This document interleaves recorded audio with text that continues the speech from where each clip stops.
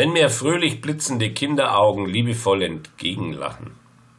Wenn ein Derwisch um mich tanzt und meine Schuhe im Baum hängen und beim Backen jemand vor lauter Spaß ins Mehl prustet und uns in eine Staubwolke einhüllt, dann ist für mich Vatertag.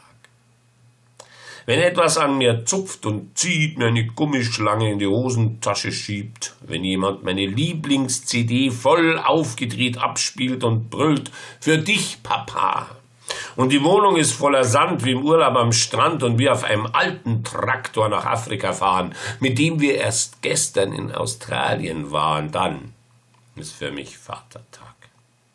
Wenn wir Zaubertrank kochen und Bilder malen, Gitarre spielen und Lieder singen, mit Tellern klappern und die Töpfe mitsingen.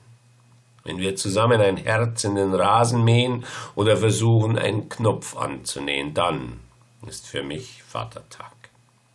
Wenn ich auch nach vielen Jahren spüre, Papa, ich hab dich lieb, Papa, es ist schön, dass es dich gibt, auch wenn wir nicht immer einer Meinung sind und uns nicht jeden Tag sehen, bin ich doch gerne dein Kind.